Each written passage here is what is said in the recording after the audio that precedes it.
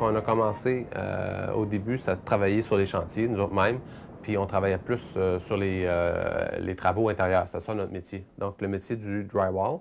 et puis, graduellement, on a appris à faire plus. Donc, on est devenu contracteur général. Ensuite, on a construit des maisons, euh, des garages, des additions, toutes sortes de choses. Mais là, maintenant, on est rendu dans le commercial. On aime mieux le commercial aussi. On adore ça. Ça va très bien. Donc, les plus gros jobs cette, année, c'est Philippe qui l'a fait. Le restaurant sur la Londres Line, c'est un grand fort. Ça, les sûrement voir tout à l'heure. C'est très beau. Euh, il a fait ça de A à Z lui-même, sans, sans que je m'en occupe. Euh. La prochaine fois que tu reviens dans le. On est mesure de câble, ça, c'est on, on, apprend. On apprend à être un entrepreneur quand on le veut. Donc, c'est comme ça. Moi, mon éducation s'est faite euh, sur les chantiers, sur le site, euh, comment négocier, comment euh, se positionner avec des clients, avec des acheteurs, etc.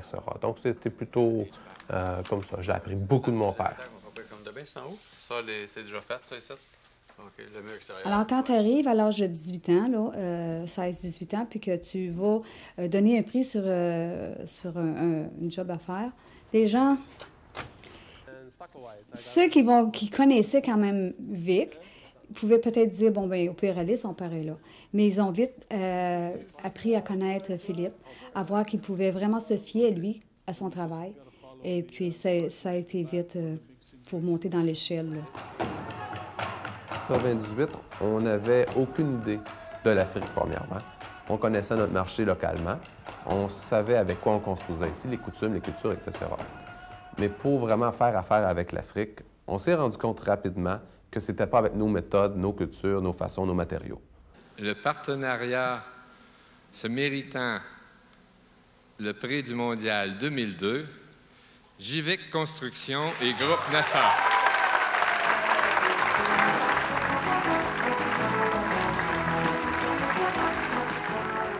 Quand on fréquente les organisations comme le Mondial, il y a tellement d'entrepreneurs qu'il faut qu'on s'oriente un peu pour ne pas trop prendre de temps avec une personne qui peut ou ne peut pas être euh, la personne euh, avec qui tu peux avoir un, partenariat solide. Donc, on veut toujours aller un peu plus loin, en visiter d'autres, puis faire le résumé du tout et ensuite dire, bien, d'après moi, c'est NASA mon partenaire. Nous avons un réseau, vous savez au-delà de 6 000 euh, euh, entrepreneurs et organismes qui ont trempé d'une façon ou d'une autre dans nos activités depuis 1996. Euh, Voici le panneau qu'on a développé. C'est un panneau de ciment isolé. Donc, le ciment à chaque côté, l'isolant dans le milieu. La raison qu'on l'a développé comme ça, c'est surtout par rapport à la culture africaine les Africains veulent avoir des murs de ciment. Donc, c'est un mur de ciment euh, et on ne voit jamais l'intérieur du mur. Par contre, l'intérieur du mur a un isolant pour euh, permettre aux maisons d'être isolées. Je l'ai rencontré au cours du Mondial 2000. Euh, on s'est rencontré ici, on s'est dit bonjour très rapidement. On a échangé les cartes, je lui ai demandé ce qu'il faisait et je me suis rendu compte que ce qu'il faisait rentrait dans le, dans le cadre de ce que je fais également et au Burkina.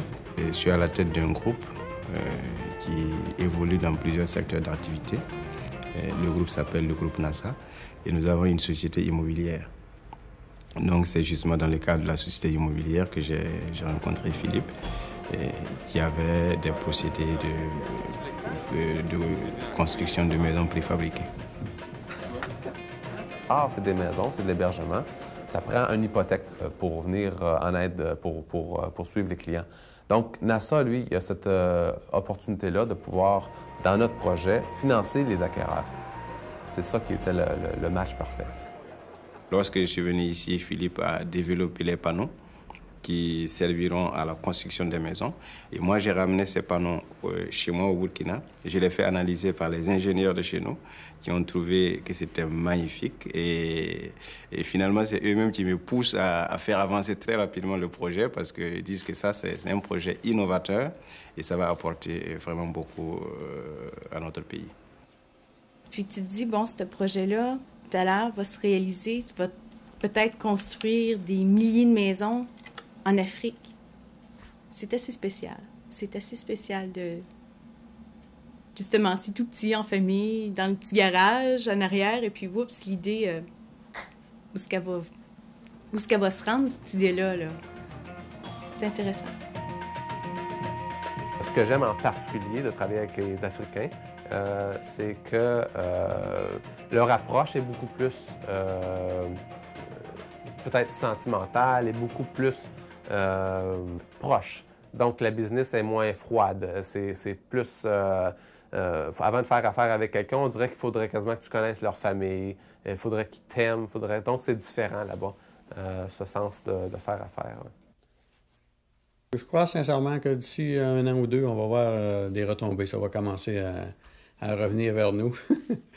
J'ai bien hâte. Mais là, avec ce qu'a gagné le mondial aussi, ça va y aider, donner une chance à, à défrayer certains frais toujours, parce que euh, c'est dispendieux. L'avion, il est là tout le temps. J'ai fait de voir plusieurs pays qui font. Le fait que euh, ça se fait pas tous les jours, le fait que si on réussit euh, à bien, euh, à bien s'entendre, à, bien, à bien euh, euh, développer un partenariat, on peut faire aussi plus que ce qu'on va faire présentement. On parle de construire une usine à Ouagadougou pour construire des maisons au Burkina Faso, mais c'est le début. On veut aussi faire ça dans plusieurs autres pays en Afrique.